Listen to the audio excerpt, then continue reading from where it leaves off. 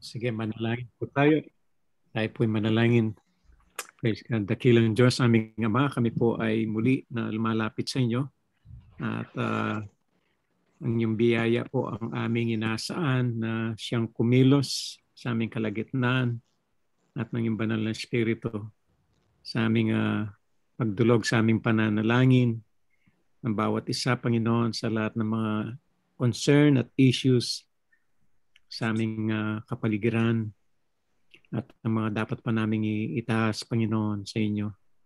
Tulungan niyo po ang bawat isa. Nawa, Panginoon, ay aming lahat ay magkaisa at mabigyan kayo ng kapurihan sa gabing ito sa aming pananalangin. pananalangin. Salamat po Diyos. Ito po ang aming hiling at dalangin sa matamis na pangalan ng aming Panginoong Yeso Kristo. Amen. Amen. And amen. Okay, good evening. Good evening sa Glendale, sa Beverly Hills, sa Beverly LA, sa El Monte, Huntington. Tita Cherry, saan kayo? Sa ano kayo? Ah, LA din po, di ba? po. LA. Yan. LA, LA. Oh, sa Valencia, sa Europe, sa Asia. Kapag kayo Santa Clarita? Santa Clarita po kami. Sa kung saan napakainit. Oo nga, ang init ngayon dyan, sabi ka ano. Mainit pa ngayon. Mainit. 100, ano? Yeah, kahit nakabukas na nga aircon, mainit pa. eh. Okay. So, alin? Si, Ay, Sister Cherry, sama kayo bukas, ha? Opo. Sa, Ah. saan po mag saan po ang meeting place? Doon lang po sa parking lot lang po. Sa opisina, yung office natin, alam niyo yung opisina ng pastor? Yung sa may parking lots. Mismo sa Wiley Chapel po, yung mismong pintuan lang, doon lang. Ah, hindi po doon sa may bonds. Hindi po, hindi po. Dito sa parking lot mismo. Yung do, yung sa may mga table na yung nagba-barbecue kayo doon. Ah, pwede rin din po. Makikita niyo, basta makikita niyo po sila doon sa parking lot. O, sige po. Apo, ah, nandun po sila ng alas 8 ng umaga. Ayan. Kami po magda-drive. Diretso na po kayo doon. Opo. Mm. Kung hindi kami maligaw. Anong gusto pakanta, Pastor Tin? Para kunin ko yung lyrics. Yung lineup na lang po natin kay Oh, Buti. sige. Ah, anong anong title? Kay Hmm. Buti Buti mo, Panginoon. Sino kumanta? Papuri singers yata eh. Nasa lyrics na po ng ano natin, ng church lights. Ah, okay, okay. Dali ah. Taran.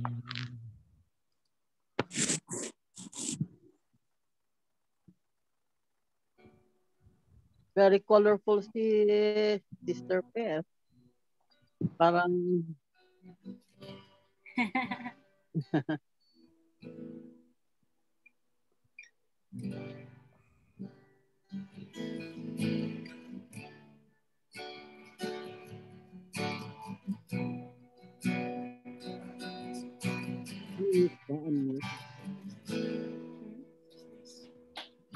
po ah. Kunin ko lang po yung ano natin. Slide natin.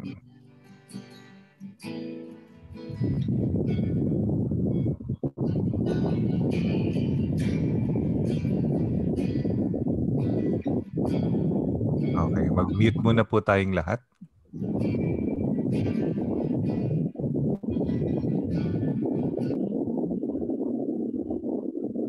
Ay, sorry, Pastor Tin, na-mute kita. sorry. Ayun. Okay. Oh, nawala si Tita Fe. Dali lang po ah. Ayusin ko lang to. Ay, si Tita Fe po ano, hindi sumasagot. Ay, di sumasagot. Yun. Dali ah. Hindi, si Sister Pepot na na-drop ata. Hindi ko kaya siya na ano. Dali ah. There you go. Good evening, Pastor Bong.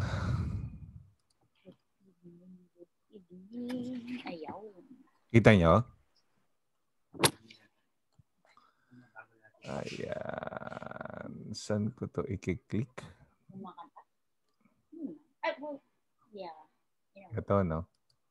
Yes po. Ito ba? Hindi. Hindi. Tadan. Present. Yun.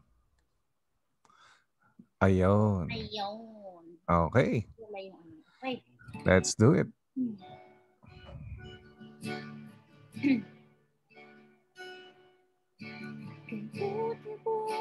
Mo, Panginoon. Sa lahat ng oras, sa bawat araw, Ika'y laging tapat kung. Ang iyong kaawaan ay magpawalang. Ulitin po natin kay buti-buti mo. Kay buti-buti mo, Panginoon. Sa lahat ng oras, sa bawat araw, Ika'y lagi tapat kung magmahal. Ang iyong kaawaan ay magpawalang hanggan. Pinupuri, sinasamba kita. Dakilang Diyos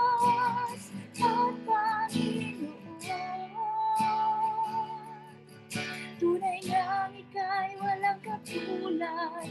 Tunay ngang ika'y di nagpapago. Mabuting Diyos na sa amin nagmamahal. Ulitin po natin kay buti-buti mo. Kay buti-buti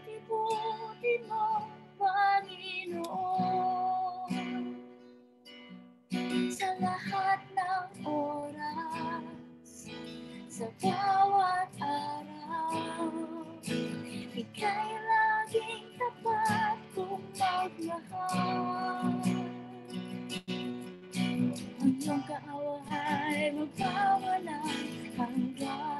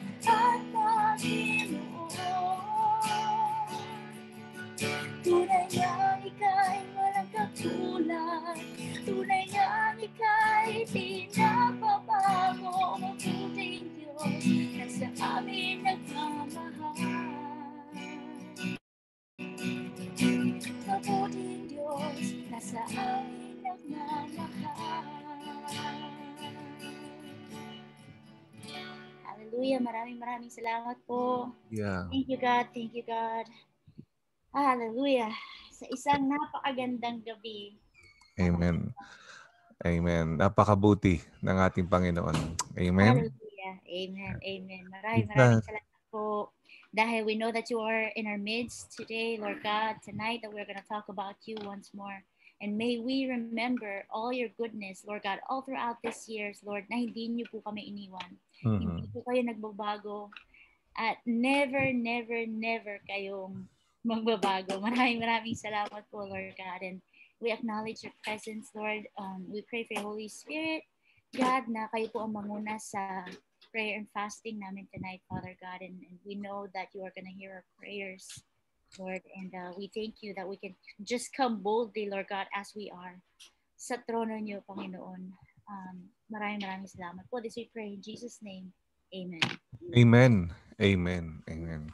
So, um, ang pag-uusapan natin ngayon, ngayong gabi, ay tungkol sa negosyo. Ayan. Alam niyo, nung bata ako, nainggit ako sa klase ko. Na siguro, ano kami noon, grade 4. Ah, ang galing-galing niya magbenta ng Goya. Alam niyo yung Goya na chocolate nung araw? Surge chocolate. Hindi, Goya. Goya siya. Iba yung Surge eh. Yung Goya na ang factory no, sa Marikina. Kasi yun, yung parents si ata nagtatrabaho doon. So nag-uwi yung parents niya ng scrap na ano na chocolate. So mura yun eh, by kilo. Yung mga reject na. Tapos binibenta niya yon. Ang galing-galing lahat bumibili sa kanya. So ingit na ingit ako sa kanya. So, hindi doon sa kinikita niya. Actually, malaki yung kita niya. And uh, uh, ginawa ko, nagbenta rin ako. Bumili ko ng Goya, 15 cents ang isa. So binenta ko siya, naalala ko, uh, 25 cents, benchingo. No? Ang problema, wala bumibili. Ako, kasi mas mura nga sa kaklase eh.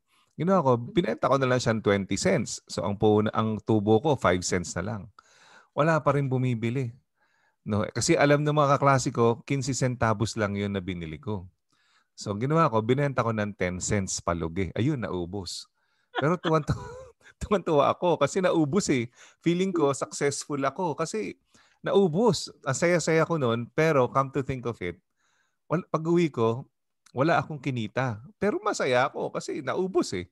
No? Pero may mas malupit akong kilala na na ano, kamag-anak ko. Matindi. Sabi ko, ay ano, pumunta sa Divisoria kasama ang mami niya. Bumili ng mga galing na China na dalawang piso. Dalawang pisong ballpen. Yung mga makukulay.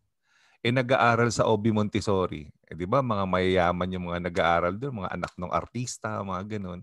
Aba, binenta yung ano, yung yung ballpen, tagbe 20 pesos. O, biglang yaman. Ilan mo yung mabenta mo. Ang profit mo nun, 18 pesos kada ballpen. Oh. Di ba? Tago na lang natin sa pangalang Cled. Di ba?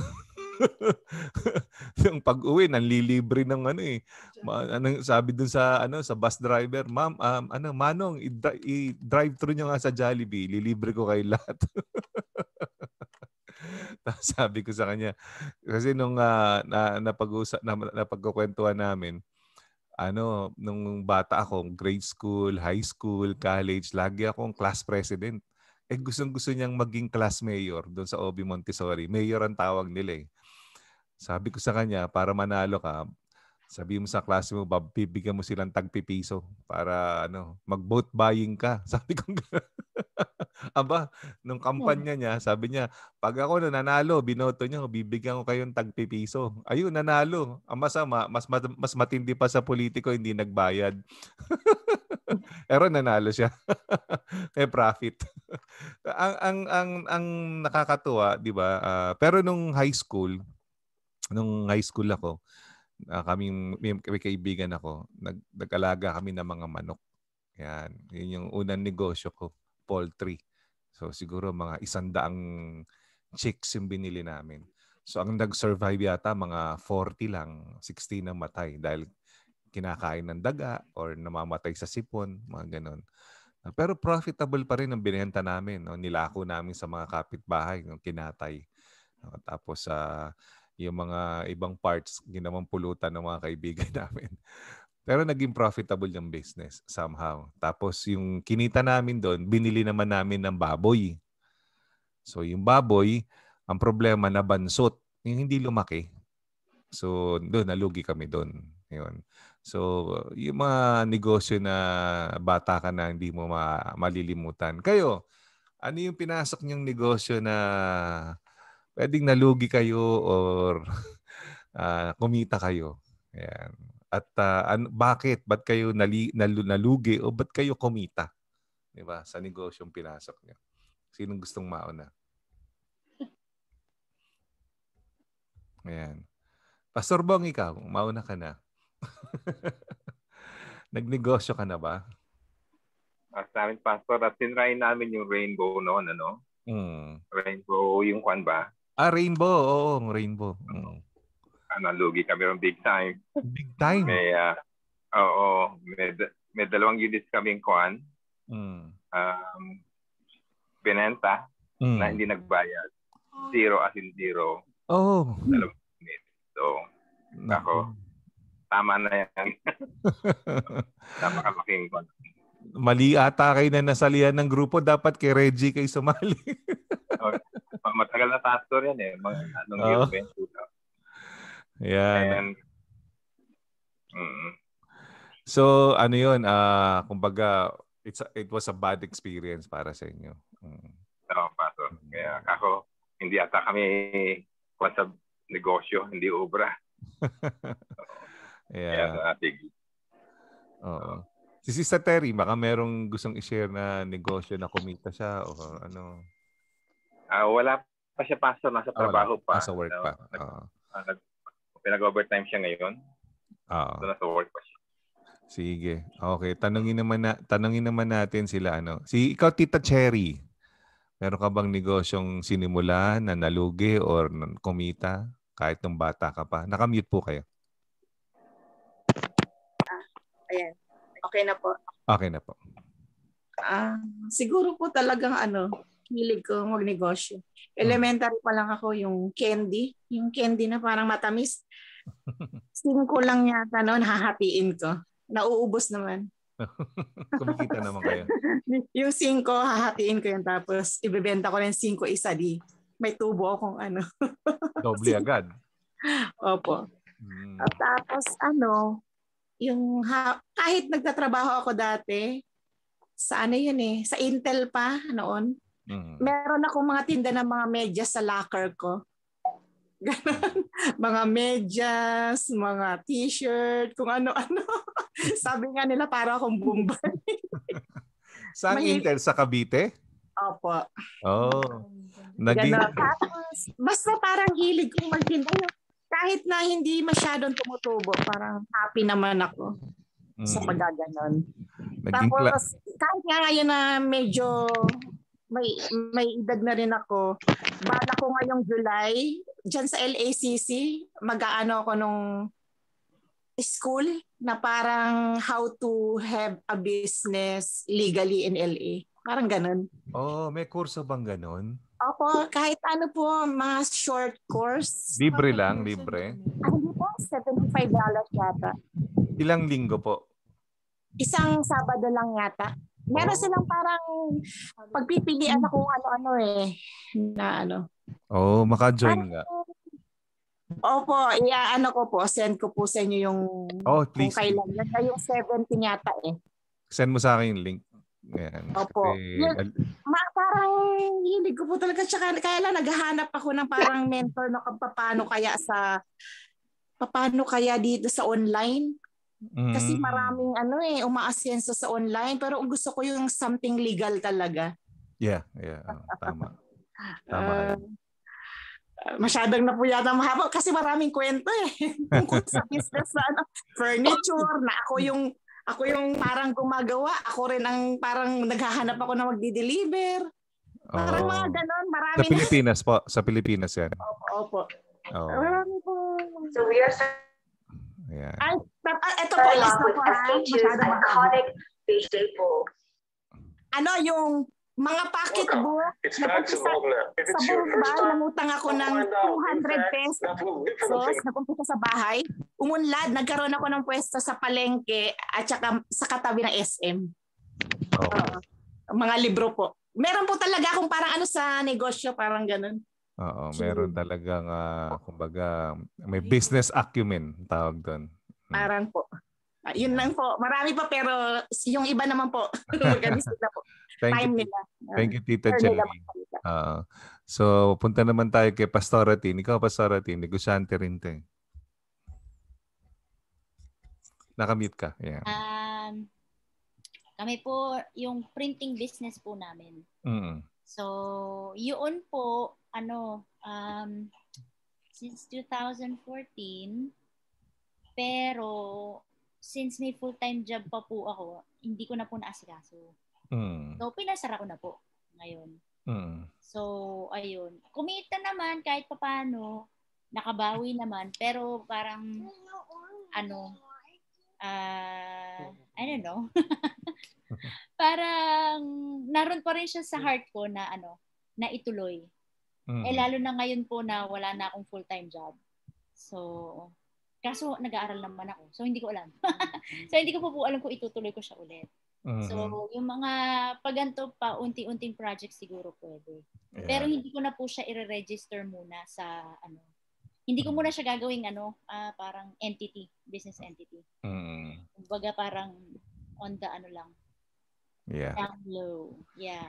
yeah. Go lang ng go. Pagka gusto nyo magnegosyo, huwag kayong titigil. Huwag kayong hihinto kahit na may failure. Di ba? Hmm. So, t- wag titigil. Yun ang pinaka-ano niyan. Eh.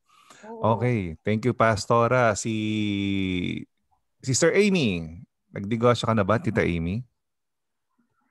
Nakamute ka po, nakamute. Nakamute ka, tita. Oh, may mga pinasukan din akong negosyo, Pastor. Mm. Nag-Tupperware. Mm. Nagbenta ng mga damit. Tapos, mm. Sa bahay, nagbenta kami ng halo-halo sa subdivision.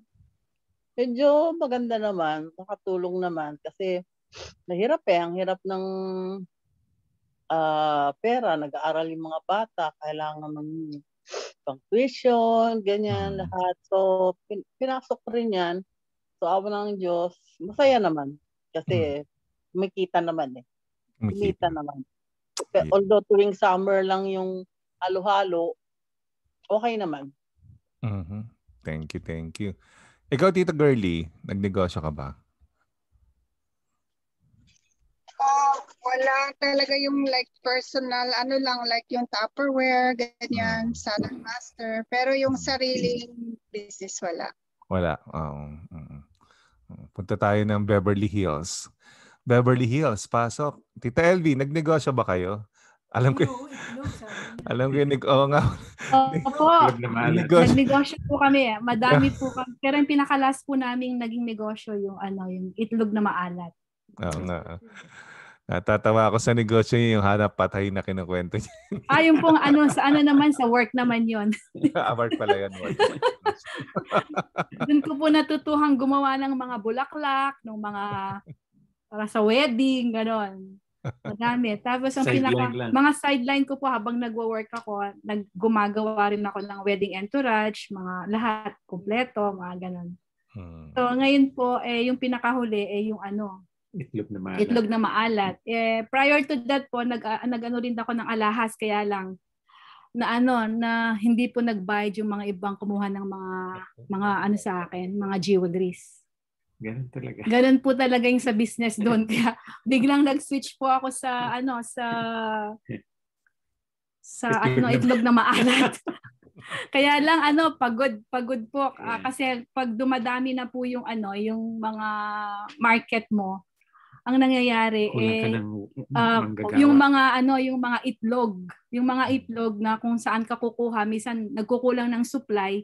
Kasi po pag mainit yung panahon yung mga itlog lumiliit minsan wala yung mga gan kahit na may mga poultry kami na hinahawakan na nagbabayad kami ng advance para po yung itlog nila ibigay sa amin. Pagdating doon, ang daming mga rejects. Hmm. Kaya minsan nalulugi po kami pero mm. gayon pa man, nabebenta naman po namin yung mga nababasag. Pero yun po yung pinakamahirap na ano na na business namin napasukan. Ikaw linis, ikaw ikaw mag uh, uh, mag mag magfa-ferment yung pong magluluto, maglilinis, tapos kukuha ka ng tao, tapos magde-deliver pa rin pag minsan. Tapos ako pa rin po yung nagpi-pick up ng mga itlog. Ayan. Yun po, yun. Tapos kumita naman po, nagbumalik naman yung mga ano namin kasi yung mga nahinto lang. nahinto lang po nung wala na si pastor, ako na lang po yung nandun. Saka yung mga kapatid ko na nag kasi hindi ko na po siya talagang maano. Uh-huh. Pero okay po yung itlog na maalat pag may supply. Mabenta Yun lang po. hindi na hindi hindi hindi maring hindi bibili niya ng Pilipino eh. Opo, uh, masarap po yung itlog namin, masarap. Yes. May, uh, ano, may oil. May oil. Good evening, James. Oh, Hi, James Raymond. Oh. Ayan si James. Bishop, Bishop James. Ayan. Uh, tanungin muna natin para makabuelo muna si James. May nag-uusapan kasi namin yung negosyo, James. Eh. Ayan, oh, eh, si Jairus naman at si Jairel sa Glendale. Ano yung ano, ano Jai, Jairus at saka si Rachel. Ano? Ayan. Ano, may, nagnegosyo na ba kayo? Kumita? Hindi kumita? Okay lang kahit anong share nyo lang. Marami na po akong sinubukan, Pastor. Kasi, uh, ano ba tawag dito? hindi ko po mako-consider na business pero yung sa stocks po kasi nagsubok ako noon. Hmm. Eh palibasa po ma pag, pag naano ka ng pagiging greedy, ayun, uh, hanggang ngayon parang 50% pa lang po siguro yung nababawi ko ngayon. Oh. Um, tapos yung ngayon po yung business namin talaga. Pero yung pong sa stocks sininto ko na po yun kasi wala po talaga akong future doon. Hmm. Tapos yung ngayon yung business po namin is manpower. Mm. Nag aano po kami na po-provide kami ng manpower sa um, sa mga home health aid po sa LA. So yung knowledge po namin na mag-asawa, itinitrain po namin yung mga nurse na nasa Pilipinas. Yung pong mga naghahanap ng mga part-time job, uh, yun po kasi ang goal po talaga namin sa nung tinayo ng company maka tulong po sa mga tao na nasa Pilipinas nung nung pandemic yung mga sa para po sa mga nurse na nasa Pilipinas. Hmm. Tapos nung una po nalugi kami. Kala ko po malulugi kami. Kasi meron po kaming kliyente na salbahe. Minsan po talaga may mga ganun yung hindi yung kahit anong uh, best po na ibigay niyo sa trabaho hindi hindi niyo po sila masasatisfy. Tapos kahit po okay na ito namin, parang wala pong balak magbayad. Tapos after mga 2 months, 3 months siguro po, parang actually every week, every month parang iniisip ko nga po gusto ko na isara pero every week binibless po kami ng binibless kaya ano, go lang po. Yeah. Yun po. Amen. Amen. Ikaw, Rage, nung parehas lang, Oh, ay mag-asawa pala kayo. ikaw, ikaw, love, anong negosyo mo dati? Parehas kami ni Sister LV, Bulaklak. Uh, yeah, pupuyat kumita, kumita ako sa Bulaklak. Nagagawa rin ako entourage, tapos yung mga design-design sa kasal. Hmm. Muntik na nga ako mapanganak eh, kay Job eh, dahil sa kakabulaklak ko eh. Yeah. Hindi ako nakatulog. Mahirap ang wedding pagka umaga. Kasi yeah. madaling araw niya titirahin eh. So, ako yung driver, ako yung taga-buhat, ako yung hirap eh. Pero masaya siya eh. Kumita masaya. naman, laki, oh. malaki kita sa Bulaklak. Kasi kumukuha yeah. kami sa Dangwa eh. Mm. Yeah. Tapos, nag-aaral ako sa Alahas. Parehas nga kami Sister LB. Pero hindi ako nalugi sa Alahas. Kasi I just get, nagsimula pa lang, parang kinukuha ko lang yung hindi talaga mahal na alahas eh. Pero buti na lang kamo, nung time na nag-aalahas ako eh, meron nag-hold up sa akin sa Sanawan. Oh my gosh. Grabe. Akala ko si Jeff niyakap ako, nakatalikod ako. Eh pagtingin ko, may yung ano, yung mahabang kutsilyo nasa leeg ko na. Natakot ako. Oh my uh, goodness. Kinuha yung cellphone mo. Kinuha yung cell... Ay, uh, kasi hinihingi lang yung cellphone. Eh, nahihiya ako dahil yung cellphone ko yung ano lang, 6210. Hindi ko binigay. Hinablot tuloy yung bag ko. Pati yung bag ko na isa, eh, meron ako mga personal na alahas ko. Yung sa akin lang, tapos yung, yung mga importante akong gamit. Ayun tuloy, nanakaw. Pero praise the Lord, okay naman ako. Takot na takot ako na, na ano, na hold up pa ako nun eh. Uh. Madaling, uh, madaling araw kasi ako pumapasok papuntang school. Sa OB, nagtuturo ako sa OB. So, yeah, pero yon praise the Lord. Ano naman, God is good, buhay pa ako. Ayun. Ako na alala ko yung huli kong negosyo yung ano yung training company. It's a training ano uh, naging part ako ng Asia Business Consultants. So isa ako dun sa mga sessionist nila na nagkakandak ng training, team building, kakanda ako ng work ethics and motivation, leadership seminars, yun doon ko nakuha yung ano, yung uh, first 1 million pesos. Ngayon, yun talaga, kumita talaga ako doon. Oh, at uh, eksakto, nagkasakit yung tatay ko. Half million pesos naman yung kailangan bayaran sa ospital. pero ang galing ng provision ng Diyos, di ba? Kumbaga pinakita ka ng malaki, pero gagamitin mo pala doon sa ano, doon sa sa ospital, parang ganoon. So natigil siya dahil pumunta ako ng Amerika. Pero naalala ko noon, gusto ko na rin huminto eh kasi uh, actually aksidente lang yung pag ano ko doon, pag uh, pag-involved ko. Yung kaklase ko nung college, ano siya, uh, HR siya sa isang ano uh, uh, Australian company, no, shipping company. Tapos sa problema siya. Sabi niya, uh, problema ako eh, yung boss ko, hinaharas ako dahil kailangan ng training. Sabi niya, baka pwede naman magpanggap ka, kunyari alam mo. Eh syempre, kaibigan mo, barkada mo, di pumunta ako sa opisina, sige, di gawin natin. Without thinking na bayad or anything, wala, wala ako iniisip na ganun. Baka tutulungan ko lang yung kaibigan ko. Tapos nung pagdating ko doon, sabi sa akin nung Kiwi, taga New Zealand eh, sabi niya, paano magiging worth yung pera ko na ibabayad ko sa'yo? Eh ako naman, wala naman akong ano, wala naman mawala sa akin eh. Sabi ko, eh di money back guarantee. Pagka, pagka i-rate ako ng mga participants na tao ninyo, at binagsak ako, huwag niyo akong bayaran. Parang, eh, hindi naman talaga ako naghanap ng bayad. Gusto ko lang tulungan yung, yung kaibigan ko kasi nga, wala siyang makuha. So, nung kinuha ko, uh, naalala ko noon, uh, sabi sa akin ng training manager, o oh, sige, will pay you ano, uh, uh, kasi ang binabayad dun sa doctor na nagkakandak ng first aid no para sa mga seaman yan eh. Sabi niya, sabi niya they're paying 2,500 pesos. Uh, 2,500 pesos. Sabi ko ba, malaking pera na yun ha. For like 4 hours. Malaking pera yun. Tapos sabi ko, oh sige po, no problem. Tapos nung after nung ano, nung uh, nung uh, training, No, ang taas ng ano ko kasi 1 to 5 'yun eh. No, naka 4.8 ata ako, 4.9 yung score ko, no. Tapos uh, ginawa ng training manager, binigay yung cheque. Dalawa yung cheque binigay. Dalawang 2.5.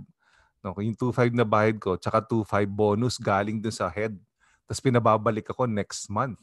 Hanggang sa ano, since nagsimula ako doon year 2000, hanggang sa umalis ako papuntang US. Kliyente ko sila. Doon ako nagsimula. Sabi ko ba, pwede ko pala tong racket ha na ano na magka, magkanda ako ng training. And then sabi, tas na, na, ano, nung sumunod na naghanap ako ng kliyente, walang kumukuha sa akin. Pero yung senior pastor namin, sabi niya, in-encourage niya ako. Kasi one time, nakasabay ko sa training si ano si Anthony Pangilinan, no. Kilala niyo naman si Anthony Pangilinan, yung asawa ni Maricel Laksa. Train ano yun eh, tra- uh, trainer din siya. So sa isang company, no, magkasunod kaming mag-speak nakita ko siya, ang gwapo-gwapo. Tapos uh, ang uh, ano walang tiyan. Tapos ano, uh, ang galing-galing magsalita. Sabi ko, patay na. Paano ko 'to susundan, 'di ba? Parang parang kumbaga tinaas niya yung bar. Tapos nung kinausap ko yung assistant niya, 30,000 pesos siya per hour. Lupit, di ba? Arang, tas pag, pag, within Metro Manila yun ha, pag pumunta na kayo ng Tagaytay, mas mataas na yung presyo niya. So na-discourage talaga ako noon kasi tiningnan ko siya eh, 'di ba? Sa naka, ano in-encourage ako ng senior pastor namin. Sabi niya, "Alam mo si Anthony Pangilinan, merong market 'yan, malalaking kumpanya," sabi niya. Pero ikaw, mapapasok mo yung maliit na kumpanya at malaking kumpanya. Pero siya, never niya mapapasok yung maliliit na kumpanya. Kaya lamang ka, sabi niya gano'n. Eh di tinake ko yun by heart. Nagkatotoo nga, lahat ng maliit na kumpanya nakuha ko, pati malalaki mula Jollibee, Toyota, Manila Broadcasting Company, Star Everbilena, Star City, lahat yun. naging kliyente ko, pati po yung Intel, yan sa may Cavite, nabanggit ni Sister Cherry. No? Naging kliyente ko yan. So, kumbaga, dun, tumabo ako ng, biro nyo, mag-speak ka lang kalahating araw, no? Uh, kikita ka ng uh, nagsimula ako 5,000, naging 10,000, 15,000 hanggang sa pag nakikilala ka na kasi tumataas na yung rate mo. There was a time na na nandito na sa USC Mini noon eh. And uh, may nag in-invite ako, sabi, wala yung kapitan ng barko, sabing ganun. Ibang company to, ibang ano, sabi, kailangan ng 30 minutes na mag, uh, mag-fill in. Punta ka dito sa Sofitel. No? So, nag-Sofitel ako, punta ka agad ako kasi kaibigan ko na yung training manager, naging kaibigan ko na sila. Sabi ko, sige, walang problema. Sabi niya, magkano bang ano, ang, ang damage? Sabi ko, hindi, huwag kalimutan. Kalimutan mo na ako, magkaibigan naman tayo. Hindi, sabi niya, no problem, babayaran kita. Di, after ng 30 minutes na nag-speak ako doon sa mga kapitan ng barko, tapos uh, sabi niya, sige, uh, ano, uminom ka muna dun sa may rooftop. Sabi ko, hindi na ako umiinom eh. Sabi niya, o sige pa, bibigay na lang sa'yo nung sekretaryo ko yung cheque. Alam niyo kung magkano yung ano, yung, yung cheque? 50,000 pesos. That's $1,000 for 30 minutes. so sabi ko, wow, para akong artista. Ang laki ng kita, di ba? So talagang yun, nakuha ko talaga yung first 1 million pesos no? Nakita na kumbaga inaasam-asam ko na at the age of 34 years old na dali ko siya. Pero uh, kumbaga uh, ano siya uh, profitable no? In a sense kasi naging sobrang profitable niya dahil wala kang ilalabas na tinatawag na overhead no? Ang overhead ko lang noon mga projector mga laptop, mga ganun lang yung mga overhead ko noon. Sira pa laptop ko. Nagpe-present kami doon sa ano sa Rome Electronics ba yun doon sa may ano sa may Laguna. Grabe. Yo, nabasag yung laptop ko, nag-collapse. Nahiya ako. Nakahiya. Oh my God. nag-collapse yung laptop ko, nadudurog. Dagat kasi napabili kami ng laptop sa MOA. Ano pa naman to sabi ko, asawa ka to. Sobrang tipid. Ang laki-laki nung kinikita, tipid-tipid pa eh, no? So, pero kasi, ang, ang ano, ang siste, kahit na malaki na yung kinita ko, plus nagtatrabaho pa ako, manager ako sa kumpanya, tapos kahit malaki kinikita ko, yung way of life ko, parehas lang eh. Wala naman ng pinagbago. Maliit lang yung apartment namin. Ang kotse ko pa rin, yung Toyota FX. So, napakasimple kong mabuhay talaga. Oh, hindi ko pa rin siya dinedate sa fancy restaurant. no, pe- pero yung yung profit, yung profit na yon, no, uh, yun nga nasabi ko kanina, naging profitable siya kasi mababa yung overhead. 'Di ba? So kaya naging profitable. Mas mataas yung tinatawag na naging margin ng pasok sa ng pera. Ngayon, ang tanong ko sa inyo, bilang Kristiyano, pinag-uusapan natin ng negosyo. So, ano, uh, alam naman natin na ang negosyo ay, kumbaga, may puunan, di ba? Tapos, uh, ibebenta mo siya, meron siyang cost, tapos meron tubo pag minus mo yung puunan. Di ba? So, uh, ang negosyo, alam naman natin, dalawang bagay yan. Either nagbebenta ka ng produkto or nagbebenta ka ng serbisyo. Sa nabanggit kanina ni Pastor Bong, nagbebenta sila ng rainbow. So, produkto yon. So, sila Rachel naman, nag-hire sila dahil manpower uh, services sila. So, services yung uh, kanilang negosyo. 'Di ba? O so bago tayo ano, bago bago ko kayo uh, tanungin, uh, bilang isang Kristiyano, no? Sa palagay nyo, sa simbahan natin, ano yung negosyo natin? Diba? Ano yung ano yung ano, ano yung binibenta natin? Uh, paano tayo magiging profitable? Ayan, di ba? Paano tayo kikita sa palagay niyo? Diba? May nagtanong kasi sa akin eh um, matagal ko nang hindi nakitang kaibigan. Tapos, siyempre, mga kaibigan mo ngayon, mayayaman na, may mga kanya-kanya ng kumpanya. Tapos, uh, guusap kayo tungkol sa negosyo. Di ba? Sabi niya, ikaw pare, ano ba ang negosyo mo? Sabi ko, eh, I'm minding my father's business. hindi na ako nag-elaborate. No? Pero there is some truth ng sinabi ko. No? Baga, uh, akala niya, ang intindi niya, ah, may pinamana sa akin na negosyo yung tatay ko. Kung tutusin, yung earthly father ko, wala na may papamana sa akin negosyo talaga yun. Pinamana niya lang sa akin high blood, tsaka ano eh, high, uh, diabetes. Pero ang uh, in heavenly father natin, kumbaga, eh, meron tayong negosyo na pinapagawa sa na pinapa negosyo sa atin, parang ganoon. So, tanong kayo, anong ano sa palagay niyo yung negosyo natin? Ano sa palagay niyo yung uh, binibenta natin? Ano sa palagay niyo yung kailangan nating i uh, ano yung profit na hinahanap natin? Ayan. Ayan. So, good evening Kiko, good evening James. Ayan. Sino gusto mauna? Ano, ano sa palagay niyo yung negosyo natin? Ayan. Pag, pag tinanong ka, Kayong mga Kristiyano ba, ano ba ang uh, negosyo nyo? Parang ganun. Pastor, nag-invest tayo sa for the kingdom of God. Mm, naging, no, nag, nag uh, may investment tayo no doon sa tinatawag na treasures in heaven. Mm-hmm. 'Di ba? Na hindi na napapanis, hindi nasisira, hindi daw na destroy ng moth at saka ng vermin, sabi sa Matthew, 'di ba? Parang ganoon. So ano an, ano itong tinit anong anong treasures in heaven ang gusto ng Panginoon na na iano natin. Ayan. Good evening daw sabi ni Kiko. Anybody? Ano sa palagay nyo? Ang uh, uh, binibenta natin. Ano yung profit na gusto ng Panginoon? Ayan.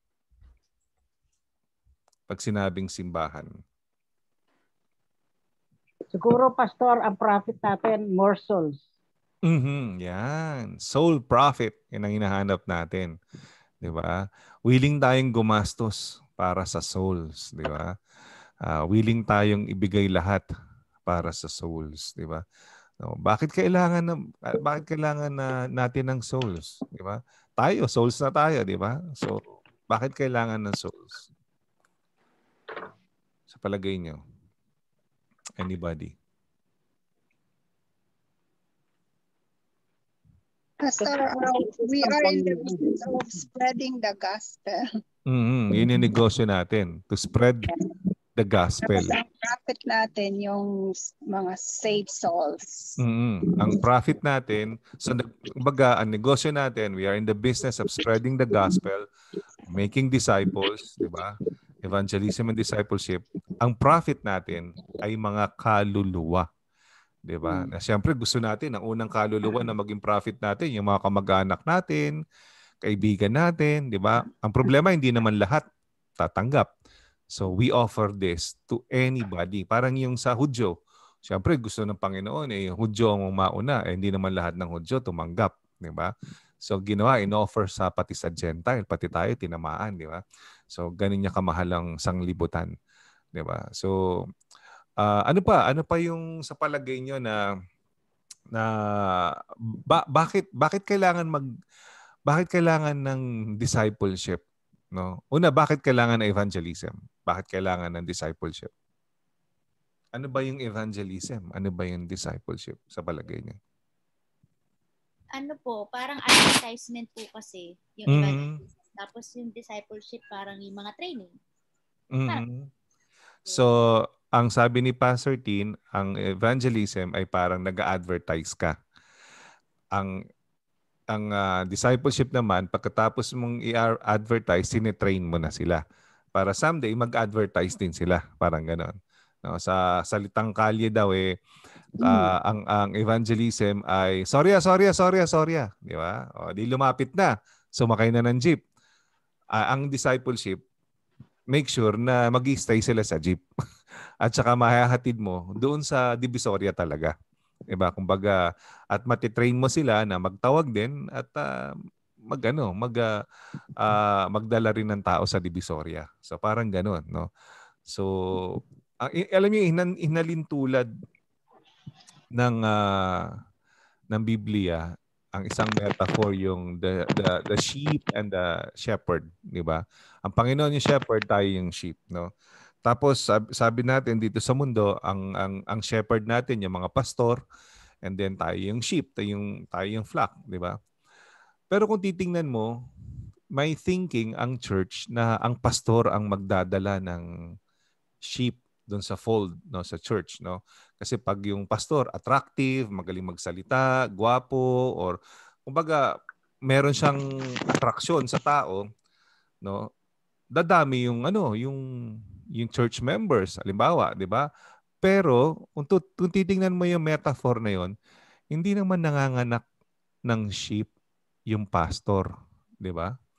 Ang nanganganak ng sheep ay kapwa niya sheep di ba So, ang talagang role natin bilang mga sheep ay magyayari na ibang sheep and hear the voice of the pastor so that ano man, hear the voice of Jesus na maging familiar tayo sa kanya.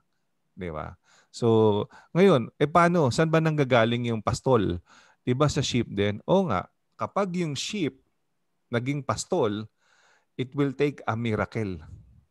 Nakuha niyo yung concept? Kasi sabi natin, saan ba manggagaling yung sheep? Di sa kapwa sheep, manganganak yung sheep. Mm-hmm. Diba? So dadami yung flock. E paano, saan kukuha ng pastol? Diba? Sa concept ng simbahan, yung pastol nanggagaling din sa sheep. E paano mangyayari yun? Eh sheep yun, magiging tao, magiging pastol. Then it will take a miracle. Eh di ba milagro, lahat ng naging pastor? Tingnan nyo lahat ng buhay na naging pastor. Imagine nyo yan. Kung mal- alam nyo lang siguro buhay lahat ng mga naging pastor, hindi nyo gagalangin eh. Maniwala kayo. hindi nyo gagalangin. hindi hindi nyo hindi nyo ni, ni sa kumbaga parang ha? Paano ka naging pastor? 'Di ba? It, it it will take a miracle. It will take a miracle for a person to be a pastor. Then the miracle happened. Alam mo 'yon? So the person became a pastor. Parang ganun.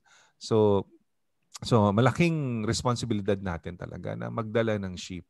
Naalala ko nung ako'y sheep pa at uh, nagdadala ako ng 50 na crew, di ba? Ginagamit ko yung position ko. Di ba? Kasi gusto mo ng schedule, ano? Kasi 4 hours lang ang schedule sa Jollibee. Gusto mo ng schedule, gagawin ko 5, gagawin 6 hours. Attend ka sa church namin. Nagbebenta ako ng ano eh. Hoping na ma-born again. Honestly. Tapos, uh, there was a time na mass hiring no? Tapos yung mga hinar ko, hired ko na talaga 'yon. Kasi ako final interview kasi ako yung ano eh, ako yung store manager eh. So kahit na mabilog nila yung assistant manager, ako pa rin yung magpipirma. So pero sa akin, malaki na yung tiwala ko sa assistant manager ko. Pagka hinar niya 'yon, ibig sabihin kailangan niya 'yon. So ako pipirma lang. Pero bago dumating sa akin, aartihan ko 'yon. Sabihin ko, kailangan eh masigurado kong matino ka eh. Ngayon, merong youth camp kami dito sa church namin. Bago ka ma-hire, okay, kailangan mo mag-invest. Pakita mo sa akin, nandun ako. In fact, ako a speaker. Gusto kita makita doon. Oh, may pam, kung ang, ang bayad 500 lang, wala kang pambayad, sabihin mo sa akin, may magi-sponsor sa iyo. Pero ako rin magi-sponsor doon, no? Siguro there was a time, 'di ba, nagdala ako ng ilan 20, no? 20 20 20 sa youth camp. Oo. At sa youth camp na yun, alam niyo kung sino naging youth camp king and queen? Parehas taga Jollibee. At yung ibang yun, at iba doon, naging pastor na ngayon. Yung iba doon, maging mga leaders na ng simbahan. I, gan, ganun yung ganun yung resulta, alam mo yun. So, kumbaga, yeah, it's it's a good investment sa youth. Sobra. Yeah, sila talaga yung susunod na leaders, no. And uh, yun yung soul profit, no. Yun yung soul profit na tinatawag. So, kumbaga, uh, nag-invest ka eh. Nag-invest ka. Ang mahirap sa discipleship, actually, madali ang evangelism. Evangelism, tell them about the love of Jesus. Tapos, diba? Hoping that the Holy Spirit will work in their life. Okay na. Pero ang discipleship, mabigat. Kasi aalalayan mo sila eh. Tatawagan mo sila, text mo sila, imi-meeting mo sila. Ngayon may Zoom, di ba? Mas okay nga eh. Noon, nung araw, bibilang ko pa ng libro yung mga disciples ko. Bibilang ko ng Bible. Bibilang ko na sila mga pocketbook para madali nila maintindihan yung for spiritual laws. Tapos may mga time na na ano na na ililibre mo pa sila ng merienda. At least noon merienda lang. Sa bakery at saka soft drinks lang at saka tinapay. Eh ngayon mahal na boba na ililibre mo at saka tsaka ano, tsaka Starbucks na. Di ba? Ang, ang mahal mag, mag-disciple ngayon, pag wala kang kotse, i-Uber mo pa yan. Di ba? Korean barbecue, Pastor. Korean barbecue, di ba? So, pero uh, that, that's, that's part of it.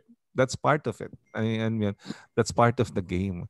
I mean, ang, ang lahi ko na lang iniisip, si Pablo nga eh. Di ba? Si Pablo, nagdi-disciple, natuto ka ng ahas, nasi shipwreck, I mean, walang kotse yun. Pero milya-milya yung, pag tiningnan mo yung mga distances nung kung nasan yung, Cori, yung Corinth, yung Ephesus, yung, ang lalayo nun, milya-milya yun. Pero tayo, kaya wala sa akin mag-drive from Valencia to LA eh. Hindi ako maangal. Alam mo yun, kasi eh, si Pablo nga eh, ba't ako aangal? Ah, di ba? Tsaka y- yung nakita ko noon na alam mo si Kristo na yung style ni Jesus na tipong Zacchaeus, come down. Di ba? Maghahaponan ako sa inyo. Alam niyo yung gano'n na napaka ano. At saka kami sa discipleship, yun nga, simula nung we decided talaga to make disciples kami mag-asawa. Inopen namin yung bahay namin, no? Bible study, inviting people, kumbaga. Kaya sanay na sanay kami na may bisita sa bahay, kumbaga. At nakalagay naman sa Bible yun, no? Bilang isang pastor, i-open mo daw ang bahay mo para sa ano. Pero in a sense, uh, bakit masaya tayo na mar- madaming soul profit? Kayo sa palagay niyo, bakit magiging masaya ka?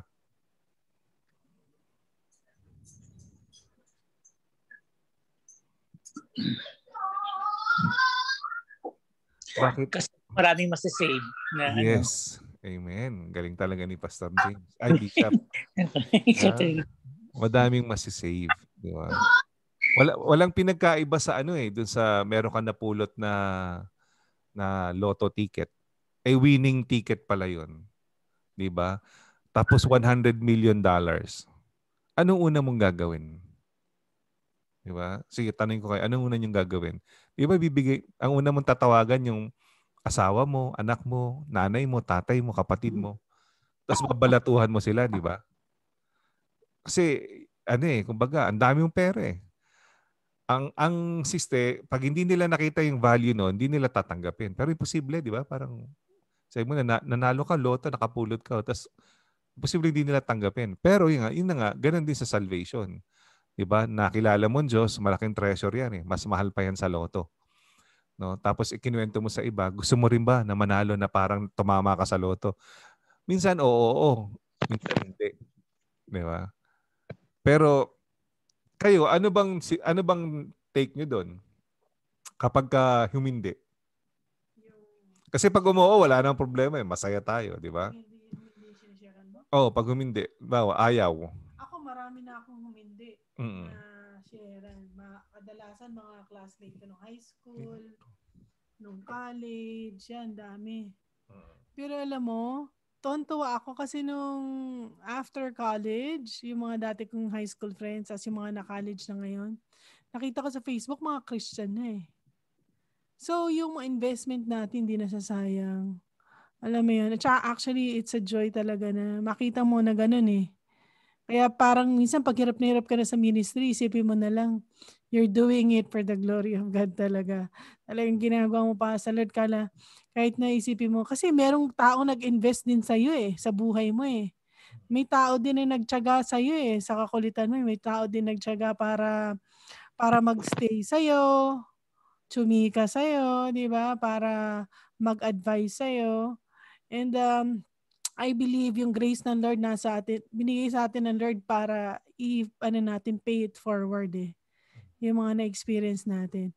Imagine kung wala mag-share ng gospel sa anak niyo sino na lang, 'di ba? Sino na lang yung mag mag ano magtutuloy, 'di ba, ng Kristyanismo dito sa lalo na sa Amerika. Napakagulo ngayon ng Amerika, 'di ba? Kung wala magi-introduce ng gospel sa kanila, wala talaga kasi public school system sabi siya close unless na merong uh, Christian club and kung may Christian club nga minsan nga hindi naman din napunta ng mga estudyante. Kaya talagang it's a big uh, ano talaga talaga responsibility sa atin. Besides the responsibility is to to really ano to pay it forward because nobody will tell them except us. Yeah. yeah. Anybody else gustong bago natin i- i-discuss yung business? Our dad's oh, business. Oh, may Go ahead, Kai. Po. Kasi naalala ko po nung yung nung di pa po ko Christian noon, uh-huh. yung verse na senior po sa akin nung pastor na nag-disciple sa akin. Ano, sabi niya sa Luke 15:7, I tell you in the same way, there will be more joy in heaven over one sinner who repents than over 99 righteous persons who need no repentance. Hindi ko po yung makakalimutan kaya gusto ko po siya. Amen. Amen. Diba? Kahit po isa lang, sabi niya sa akin na uh, nagre-rejoice daw po yung heaven over dun sa isa na yun. Eh, in fact, sa simbahan natin, tuwing may bagong darating, di ba? Ako, napakasaya ko eh, di ba? Well, kahit yung effort natin, dapat ang dumating na 200, 300. Pero ang, ang dumating, sabi mong lima, sampu, masaya na ako kasi sa totoo lang, hindi ko naman concern kung yung, yung nakapakinig eh, eh mag-agree o hindi eh. Kasi concern niya ng ano ng Holy Spirit. Ang concern ko, ang ang ang inaata sa atin is to spread the gospel, share the gospel. Halimbawa, yung pastor na nag-share kay Jai, concern niya, oh eto, malinaw man na malinaw, di ba? Kahit anong gawin niya, gandang paliwanag niya, hindi naman niya concern kung tatanggapin ni Jai o hindi. Ang nagpaliwanag kay Jairus doon, Holy Spirit. Hindi naman yung pastor eh. Minsan parang ang galing-galing talaga ng pastor na to oh. kasi naintindihan ko yung sinabi niya. Hindi pastor yon maniwala kayo.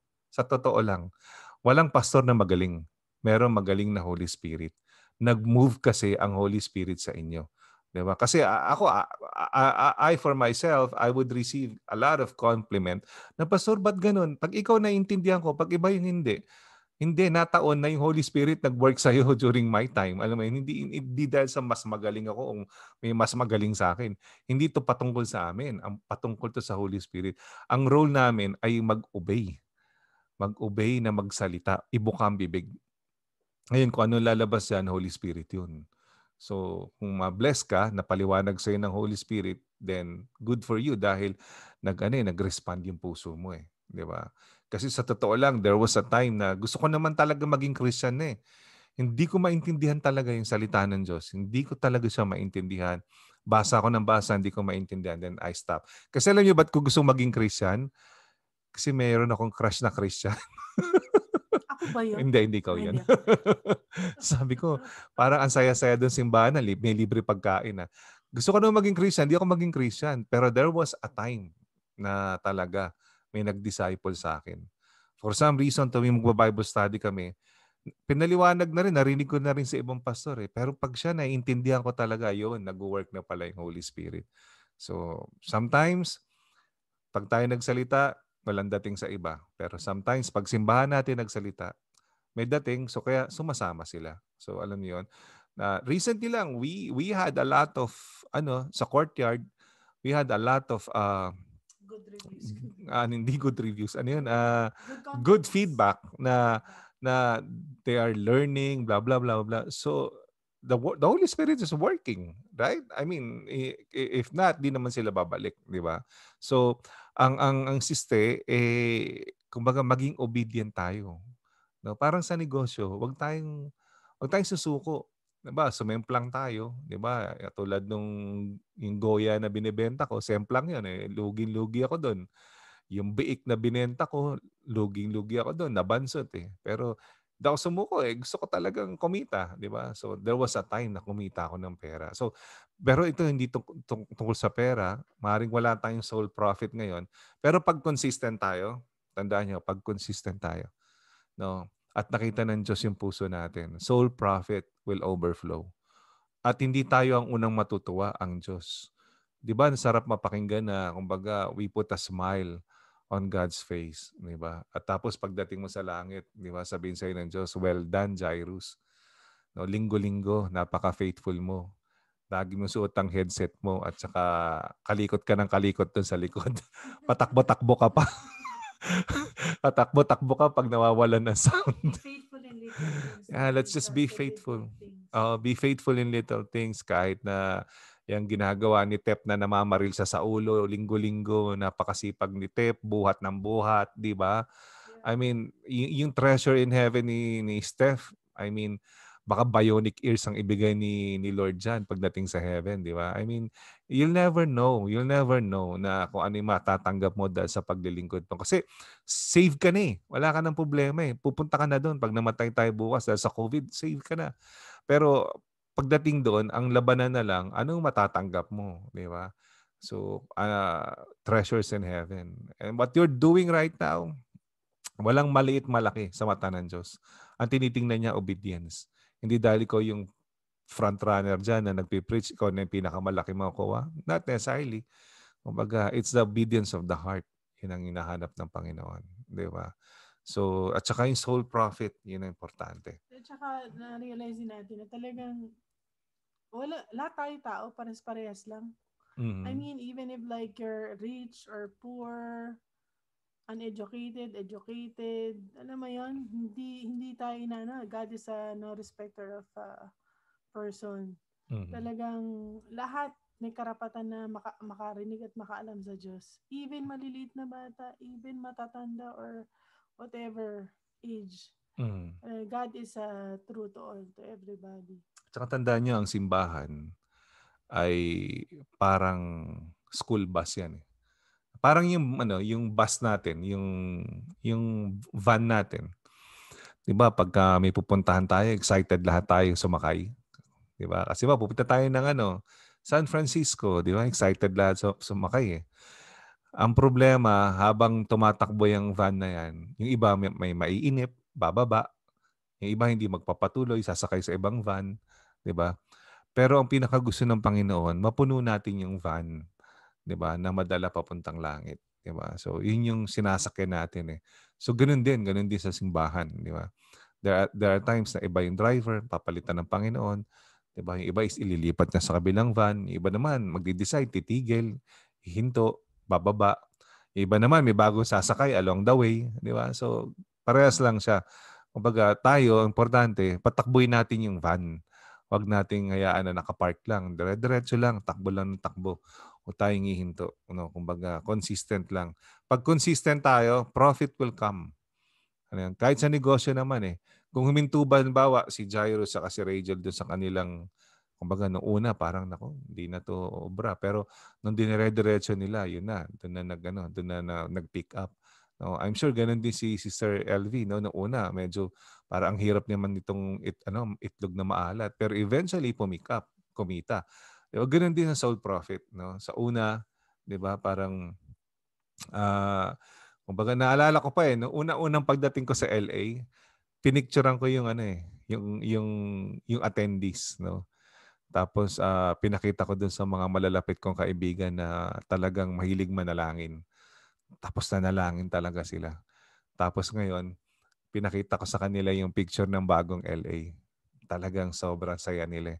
Sabi nila, totoo talaga ang panalangin. Di ba? So, ibang-iba yung difference no, no? So, kumbaga, uh, makikita mo talaga na nagalawan Diyos. Hindi nagalawan tao eh, nagalawan Diyos. Talagang siya talaga yung gumagalaw. Yung gusto niya ang mangyayari, hindi yung gusto natin.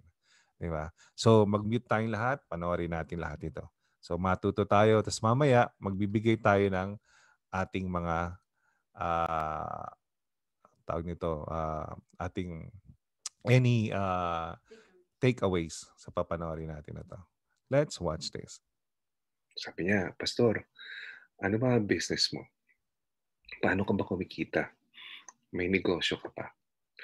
Alam niyo, uh, bago ko sagutin tong tanong na to, eh, basahin muna natin yung napakagandang sinulat ni Paul para sa mga taga-Galatia sabi niya, let us not get tired of doing good, for we will reap at the proper time if we don't give up. So encouragement to ni Paul. Actually, si Paul ay uh, isa sa mga lodi ko eh. Uh, someday, I hope na maging Paul din ako, no? mag-encourage ng maraming leaders, pastors, ng mga churches, ng mga workers, uh, makapagkanta ko ng training, makapagkanta ko ng mga seminars para po mas lumakas yung simbahan. Anyway, balik tayo kay Paul. Ang sabi niya, uh, let us not get tired of doing good. An encouragement from Paul, pero ano yung goal ni Paul? Okay, ang goal niya, for we will reap at the proper time if we don't give up. According sa kanya, someday, eh, a-harvest din tayo. Basta hindi tayo mag-give up. Eh paano? Alam nyo, ang uh, aming trabaho ay uh, tinatawag na earthly shepherding or uh, hindi lang siya basta-basta uh, nagsasalita o nagsasermon.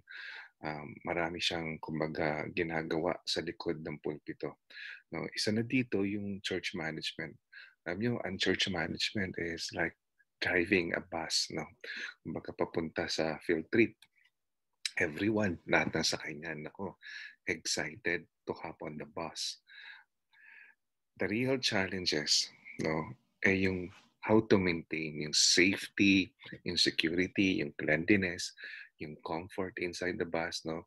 At saka, ito ang pinaka-importante, panatiliin na alam ng mga nakasakay, nakasakay sa loob ng bus ano yung sense of purpose? Why we are all inside the bus. At kilalanin kung sino yung bus owner. Alam mo, throughout doon sa biyahe ng bus na yan, no, uh, maraming nagtatanong, uh, are we there yet? Malayo pa ba? No, so, madami kang circumstances na pwedeng makasalubong. Along the way, some will get bored and uh, get off the bus, bamba, Some are called to be in another places and needs to reroute. And some will decide to finish the trip with you. Alam nyo, along the way, pwede rin na some new faces will join the field trip. And regardless how many are inside the bus, everyone are excited to finish the trip together. Alam nyo, matanong lang natin, ano ba talaga ang God's will? Ang God's will, kung ang field trip ay papunta sa eternity, kung ang bus ay pagmamayari ng Diyos, we need not to waste kumbaga empty seats inside the bus. I mean, being the bus owner, it is his desire to see as much as many people as possible. He wished to welcome, he wished to welcome us all in a place of eternal joy, a limitless field trip in the paradise he prepared. Paano? No? Simple lang. Do not give up.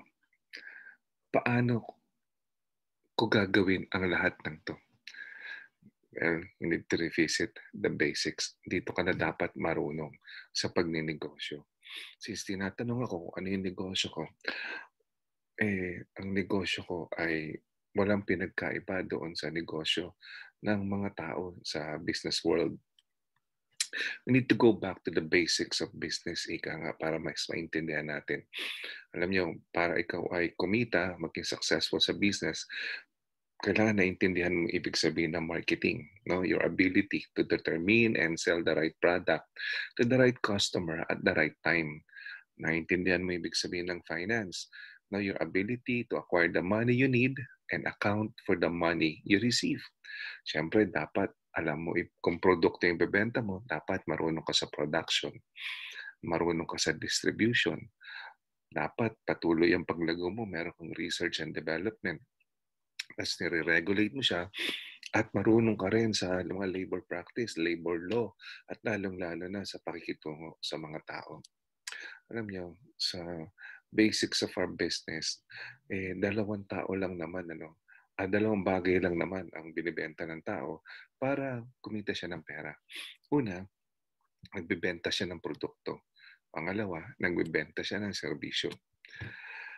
Sa atin, sa sa ganang amin pala, eh, ang negosyo na kung saan kami involved, ito ay uh, to win souls for the Great Commission. Dalawang bagay lang ang binibenta rin namin, parang produkto at serbisyo. Ito ay to evangelize people and make disciples. Sabi kasi sa Mark 1.15, the time is fulfilled and the kingdom of God is at hand. Repent and believe in the gospel. So ito yung kumbaga, uh, palagi naming isinisigaw, palagi naming uh, itinuturo doon sa aming negosyo. Sabi sa Acts 13.47, For this is what the Lord has commanded us. I have made you a light for the Gentiles, that you may bring salvation to the ends of the earth. No, kaya nga kahit hindi kami marunong mag-record, magsalita sa harapan ng computer, or mag-Facebook or mag-YouTube. Ginagawa namin to. Nakapalan namin yung mukha namin para magampanan yung panawagan namin, lalong-lalo na sa mga ganitong pagkakataon. Isa sa mga paborito ko o masasabi kong life verse, no? isa sa mga life verse ko. Kumbaga, na ginawa ko ring personal mission, eh, itong tinatawag na The Great Commission. Sabi dito, go therefore and make disciples of all nations, baptizing them in the name of the Father and of the Son and of the Holy Spirit, teaching them to observe all that I have commanded you. And behold, I am with you always to the end of the earth. Yan. Kasi importante siya sa akin kasi yan yung huling habilin ng ni Jesus na nag-ascend siya sa heaven. So, nalulungkot nga ako kasi madaming simbahan masyadong focus doon sa events, masyadong focus sa pagpapatayo ng building, masyadong focus doon. Hindi, hindi masama lahat ng yon. Kumbaga, ingredient yun eh. Part yun ng, ng tinatawag na our Father's business. But ito kasi yung pinaka-importante na kumbaga rallying point ng isang minister of the gospel. Kumbaga, maipalaganap mo yung adhikain ng Diyos. Kasi madami siyang gustong tao o madami siyang gustong kaluluwa na makasama sana for eternity. ayun, ulitin ko lang, no? kumbaga, uh, sa basics of our business, sa aming bansa, sa ganang amin, ano, kumbaga, uh, paano namin ipa- itatakbo yung Great Commission. Kumbaga, ang isang kumpanya may mission vision yan eh. Sa amin ito yung aming ano eh, mission, no? Kumbaga uh, to evangelize, kumbaga parang nakapulot kami no ng isang napakadaming kayamanan. Ibig sabihin ng to evangelize, kumbaga, parang isi-share namin itong mga treasure na to sa maraming tao. And to make disciples ang ibig sabihin, tuturuan din namin sila kung paano i-spend wisely yung treasure na sinare namin. So ibig sabihin, uh, makapagturo din sila ng ibang tao pa para mas madami pang mabigyan ng kayamanan. Alam nyo, sa negosyo, ang ultimate goal naman ng lahat ng negosyante is to gain profit. Ganon din naman sa atin, no? sa ganang amin. Ang goal namin is soul profit. Our ultimate goal is to win souls, to make disciples. No? Who will make disciples para continuous yung process ng negosyo? Ano ba formula? No? Ano nga ba kasi yung formula para ikaw ay kumita or pagkatubo sa negosyo? The formula for solving profit is fairly simple. Baga P equals R, baga minus C. Profit equals revenue minus cost. Ganun lang siya kasimple. Sa salitang kalye, no, simple lang. Ang formula ay yung tubo mo equals kinita mo minus yung puunan mo. Halimbawa, ang kinita mo ay isang daang dolyar. Ang puunan mo ay $10. So, ima-minus mo yung puunan mo dun sa kinita mo. So, ang pinakatubo mo, $90. So, eh paano naman sa ganang amin, sa negosyo ng tatay namin?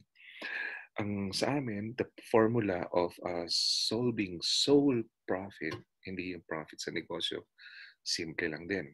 Soul profit equals evangelized people, yung nasharean mo ng gospel, minus discipled people minus yung mga naturuan mo. Tingnan natin. Halimbawa, may sampu kang nasharean, na-evangelize.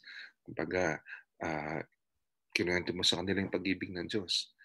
Eh sa sampu na yon may tatlo na nag-decide na nag-accept. No? Ibig sabihin, yun yung soul profit mo. Kumbaga, yun yung uh, para sa Panginoon. Hindi naman talaga sa iyo. Pero meron siyang isa pang perspective na maganda. Hindi katulad sa sa equation ng negosyo, nagbabago at isang perspective lang. Dito, sa mathematics ng Panginoon, iba. Kasi kung titingnan mo, kung sampu yung in-evangelize mo na tao, minus mo yung tatlong dinisciple mo, no? equals may sampu kang soul profit, kasi sampu yung tumanggap, eh, halimbawa. No? Uh, meron ka pang potential exponential growth doon sa tatlo. So iba, iba yung mathematics ng Diyos kumpara sa, sa ano. Kasi sa sampu, kung tumanggap lahat sila sa Panginoon, soul profit yun, pupunta sa heaven. Pero kung tatlo doon, nag-decide na mag-disciple, patay na. Poten- potential exponential growth yan. Alala ko yung professor ko nung college, napakabait nun. Uh, nag-share sa amin ng gospel. Uh, dami kaming sinira niya ilan lang kaming tumanggap.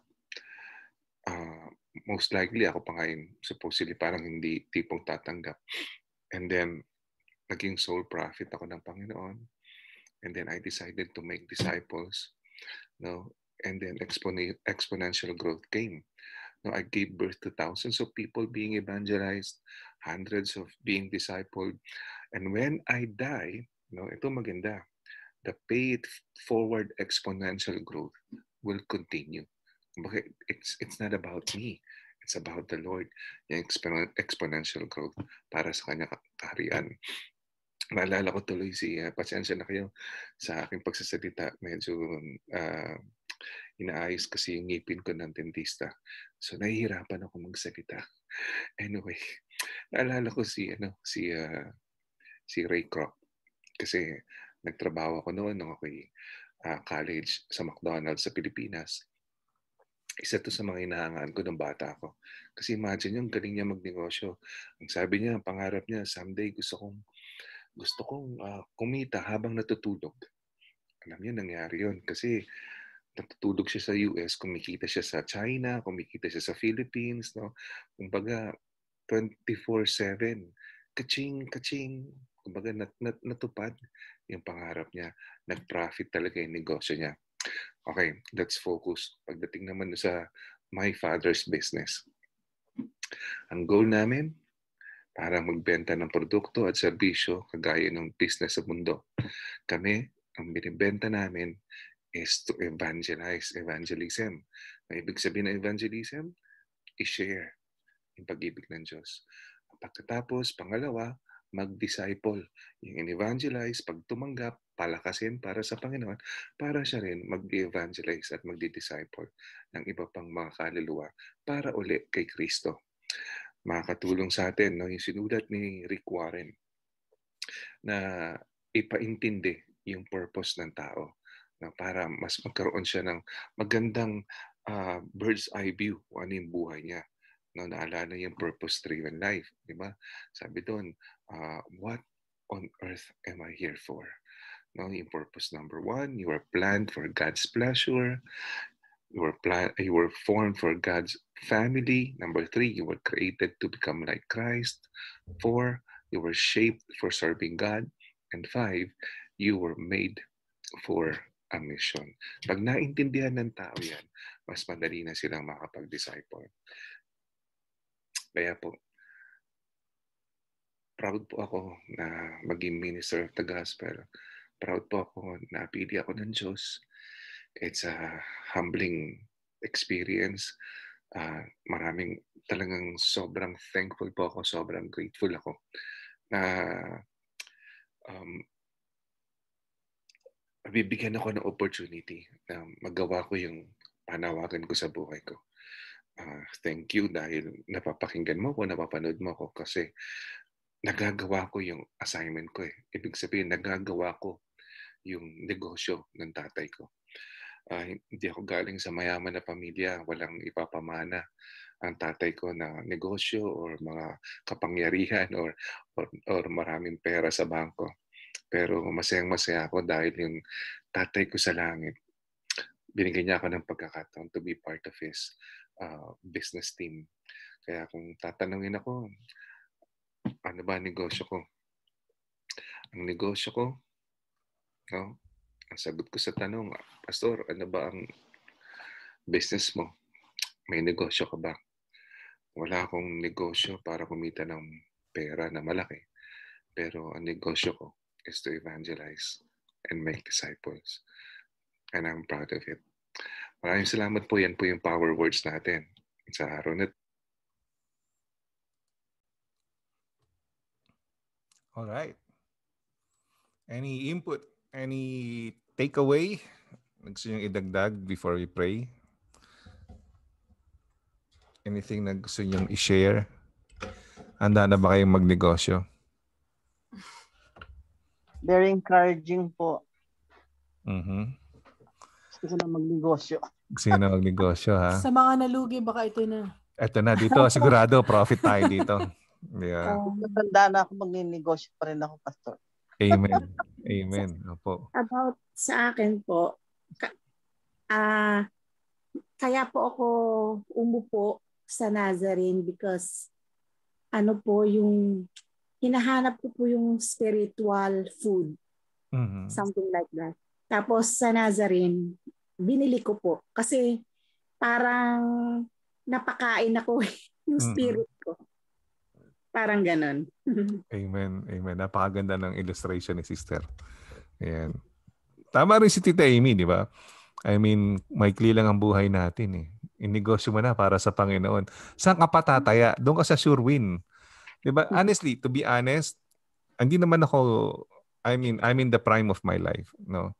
And not to brag, there is some there, there is a gift na binigay sa akin ng Panginoon. It's easy for me na kumita ng pera. Honestly, kitang-kita ko 'yan. Napakadali kong kumita ng pera.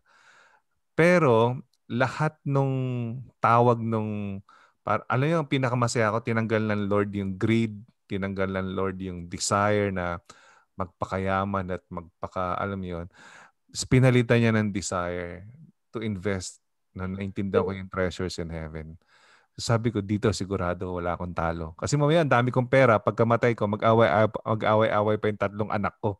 Di ba? Doon sa papamana ko sa kanila. Di ba? I mean, wala akong papamana ng pera sa kanila.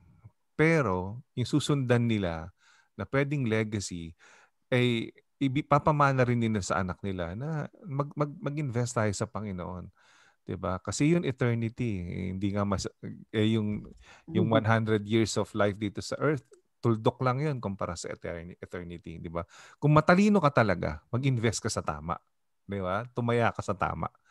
'Di ba? Saka ano ko eh, uh, hindi ako sugarol, pero kung sakali man na kasi may time na nung bata ako na na na na, na, na, na naanyayahan ako magsugal, na pero hindi talaga ako sugarol. Ah uh, siyempre may time na yung parang natu- tinutukso ka, natutokso ka magsugal. And there was a time nagsugal ako. Ako yung tipong hindi nagsusugal ng mali- maliit. High roller ako. Kumbaga, tataya ko lahat. Kasi one time, big time. Pag nadali ko, akin. Pag natalo ako, iyak ako. Parang ganun. Pero dito, daladala ko yung attitude na yon. High roller din ako. Pagdating dito, kumbaga, hindi ako pupunta sa LA ng talunan. Na naintindihan natin. Kumbaga, pagpunta ko sa LA, alam ko kagad mananalo ko dito. Kumbaga, mananalo tayong lahat. Kumbaga, hindi ako, hindi ako pupunta dito na nakalugmok, na nakayuko ang ulo, at uh, hindi nyo kakikitaan ng hmm. enthusiasm. Sabi ko sa Lord, nung tinawag mo ko sa LA, pupunta ako dito, mananalo ako dito, Lord. Wala akong, wala akong, hindi ako babalik sa inyo nang talo ako. Parang ganun. Kumbaga, dapat ganun yung attitude natin. Huwag tayong papatalo. Kasi naalala ko dati yung isang storya na na ano, hindi ko alam kung totoo ha, pero sabi dun sa story na nabasa ko kapitan pa lang si si ano si Julius Caesar no. Tapos uh, meron siyang uh, ship na na mga na mga barko, uh, parang apat o limang barko. Tapos iko-conquer nila yung isang island. Ang problema, ang dala niyan tao, sabihin mong 300 lang. Ang iko-conquer nila, parang 5,000 yung sasalubong sa kanilang army. 'Di ba? O so ano naman ang isipin mo nung paano ka mananalo kung 300 ka lang versus 5,000? Kahit man to man battle, matatalo ka doon eh. Plus mag magagaling ka pa sa barko, bababa ka pa sa barko. So sabi ng mga nagpayo kay Captain Caesar, sabi, "Boss, eh balik na tayo sa Rome at uh, wala tayong panalo dito." So sabi ni Captain Caesar, "Hindi, tawagin mo lahat ng tao natin, uh, isakay mo sila lahat doon sa maliliit na bangka kasi kailangan ng maliliit na bangka para pumunta ka sa shore. Hindi naman kasi makadaong yung barko doon sa shore eh, dahil mababaw yun eh. Sabi niya, ilagay mo lahat sa bangka, tapos uh, yung bangka, ilapit mo dito sa barko ko. So sinunod naman, kapitan siya eh. So wala nang laman ngayon yung ano, yung ibang barko. Ang ginawa niya, pinasunog niya yung ibang barko. Siyempre, nagiyakan yung mga tao. Ba't mo pinasunog? Paano tayo babalik? Hindi na, ang lang naman sagwanin natin hanggang Rome, di ba? Sabi niya, hindi tayo babalik. It's either mamamatay tayong lahat dito. Ano, gusto niyo mamatay lahat tayo sa lamig, sa gutom, dito sa, sa dagat, at hindi tayo dadaong? Or papatayin natin lahat, yung nandun sa ano, na, na, naghihintay sa atin 5,000 at tatalunin natin sila at i-conquer natin at gagawin natin silang empire. Mamili kayo. Yun ang, yun ang challenge niya. So wala na kayong babalikan. Sinunog niya na lahat ng barko. It's now or never. Do or die tayo dito. No, para sa akin, no, I don't like Caesar or whatever dahil nga uh, hindi, hindi naman ano. Pero yung attitude niya, no, hindi to Kristiyano, pero ang attitude patay kung patay. Matapang, di ba? Pero hmm. tayo mga Kristiyano, kakakitaan tayo hmm. ng mga hindi Kristiyano na duwag tayo, takot tayo, konting saling lang sa atin ng enemy, iyak na tayo sa isang tabi. Di ba? Dapat tayo patay kung patay din, laban kung laban. Di ba? Huwag tayong papayag na hindi tayo mananalo lalong-lalo na sa labanang ito, di ba? Kumbaga, uh, halimbawa, ang dami natin nakikita Pilipino na hindi na maganda ang buhay, 'di ba? Nasisilaw sila sa sa ano sa sa rat race ng Los Angeles. 'Di ba napakagandang bagay na matulungan ng Panginoon sa pamagitan ng simbahan natin na makilala nila ang Diyos, umayos ang buhay nila, umayos ang pamilya, umayos yung marriage, umayos yung mga anak, 'di ba? tapos ma-turn over yun, di ba, sa mga next generations, eh lahat yun ay makakapagpasaya sa Panginoon, di ba? So tama, I agree with Tita Amy, di ba? Kumbaga, magnegosyo, walang walang edad-edad dito si Tita Fe nga eh. Batang-bata, 90 lang, di ba? Pero go go go, di ba? Dati takot ako sa rejection. Mm-hmm. Pag nag-share. Yes. Pero ngayon, I don't care. Amen. Kung mag-reject siya. Yan ang attitude. Kasi ako, ako rin, ako rin, Tita Amy, takot din ako dating ma-reject. Kasi alam niyo kung mm. bakit ba takot ako ma-reject? Kasi mm. it's all about me. Alam niyo yun? Kasi mm. iniisip ko, ay na-reject ako. Alam Pahiya. Napaya ako. Pero ang utos lang naman sa atin eh, mag-share. Hindi naman inutos sa atin na patanggapin. Kasi ang magpapatanggap yung Holy Spirit eh. Mm. Nakuha natin. Pero nga tayo magtanim lang. Iba mag-aani, ibang simba. Invite lang na invite. Pwedeng ibang simbahan na mag-aani. Okay lang yun. Kahit mapunta sa ibang simbahan, okay lang. Basta ma-born again. Wala tayong pakialam kung mag-stay sa atin o hindi. Basta ma-born again. Yun ang, yun ang goal natin. Dahil ang sa, sa, sa, sa langit po, wala naman pong, anong church ka? Church of the Nazarene ka ba? Dito kayo sa kaliwa. O ikaw, taga LA ka ba? Dito ka sa kanan. Hindi, hindi naman ganun. Lahat tayo kristyano. Di ba? Ba, may ma-born again sa atin. Sampu. No? Tapos nag-decide pumunta ng Covinas. Go ahead alam yun, Christian yan eh. Alam yun, pumunta ng New Hope, okay yan. Sige, go. Kasi hmm. Christian yan eh. At least Nazarene pa rin. O pumunta ng Pentecostal, okay yan. Basta importante, Christian sila. And born again sila. Di ba? So, yun yung, yun yung importante. No. How about the others? Kayo? Ano, magninegosyo na rin ba kayo? Bibili na. Open-minded ba kayo? Di ba? Yung lagi tinatanong pag uh, ano, multi-level marketing. Na, nabentahan na ba kayo? Minsan, di ba, daling magbenta ng multi-level marketing eh. Kasi alam mo yung profit, laki, di ba? At siya, ano po, ang share ko lang din po, madali pong magbenta Apo. kung ginagamit mo din yung product Amen. Ayan. Parang, yan. ano eh, yung parang naniniwala ka sa product mo. Amen. Amen. Opo. Tama yan. Tama yan. Maganda yan. Maganda yan. Maganda. Di ba? Nakikita sa'yo. Di ba? Di ba? Uh, uh, halimbawa, nagbenta ka ng may kaklase kasi ko. Nagchichinchan, ano? Chin, chinchan, ano? Chinchansu. College kami noon, nauso yung chinchansu. Mapaputi ng mukha. Yo, yung kaling China, yung mabaho. Pero yung kaklase ko, uh, araw-araw mm. gumagamit, napansin namin kuminis yung muka. Mm-hmm. Sabi namin, ano ba ang sikreto mo? Yung sabi niya, meron pa siyang Dalisin C. Alam yun? Nilalagay, yung capsule yun nilalagay sa ano sa Eskinol. Tapos pinapahid sa muka. Tapos chinchansu. Eh di ginaya namin. Eh sa kanya nag-work sa amin hindi. Kasi sadyang maputi pala talaga siya. Pero na-convince na kaming bumili. Kasi nga nakita namin sa kanya eh. Ang, ganda, ang, ang mm. kinis ng kutis niya, di ba? So ganun din sa atin pag nakita nila sa, si Kristo sa buhay natin, di ba?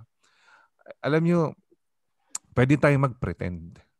Honestly, pwede tayong mag-pretend na mabait na church, welcoming na church, magandang church. Papasok sila probably about for, for a while. Ang problema, di sila mag-stay. Pero pag ang tao nag-stay, ibig sabihin, totoo yung pinapakita natin. No, from the heart. Kasi nagmamanifest lang yung pag-ibig ng Diyos. Kaya tama dun si Tita Cherry. Maniwala sa produkto. Di ba? Maniwala dun sa binibenta natin. Si Jesus yun eh, binibenta natin. Di ba? Pagmamahal ni Kristo. Diba? How about the others? Taas na yung grade ni Tita Cherry sa ano sa recitation. 90, 90% ang graded recitation eh. No? How about the others? Ano sa palagay nyo? Ano masasabi nyo? Bago tayo manalangin. Anong maidadagdag nyo?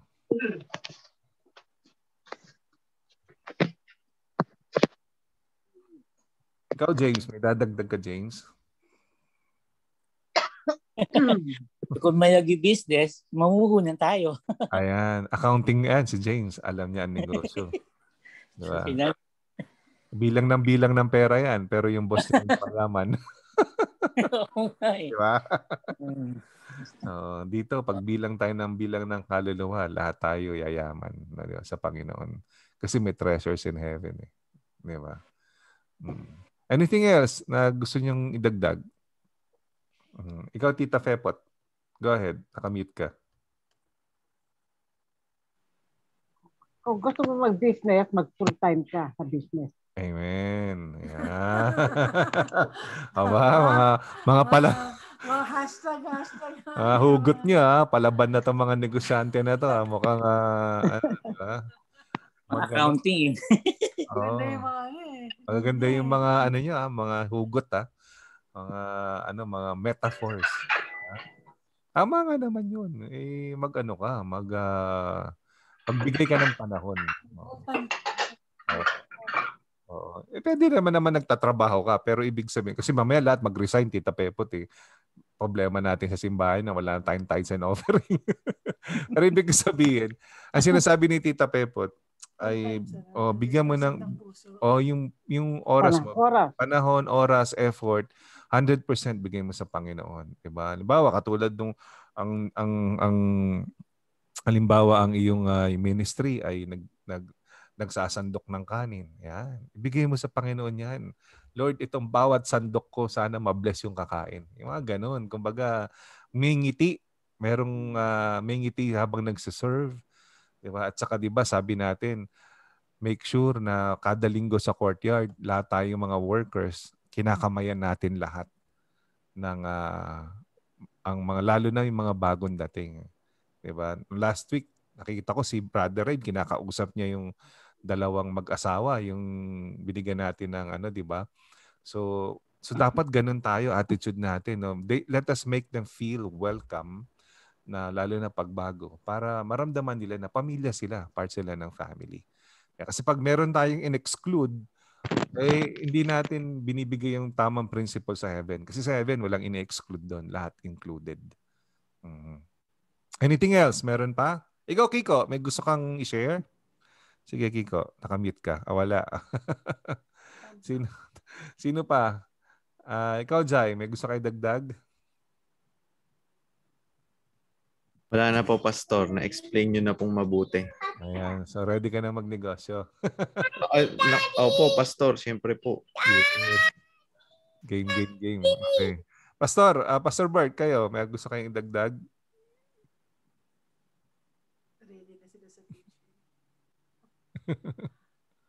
exactly.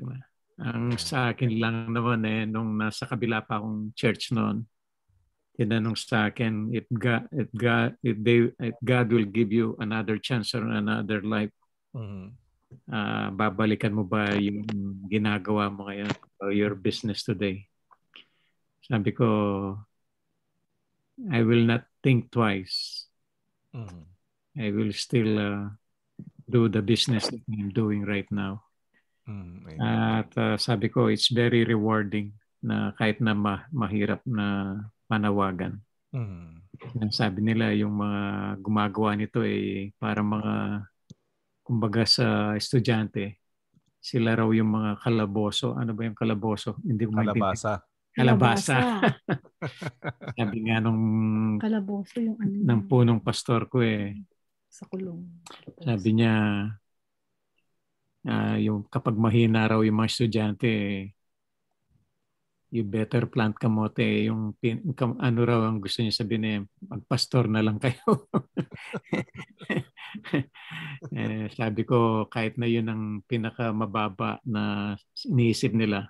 Hmm. Pero sa Panginoon, ito yung pinaka the highest calling na to serve the King of all kings. Mm. Eh, sabi ko, in serving, there's a risk. Parang sa business, merong risk din, di ba? Either you will gain or you will lose mm-hmm. sa yung ano. Uh, para sa akin, yung nga, sabi natin na, uh, sabi nga ni Pastor, patay kung patay. Mm-hmm.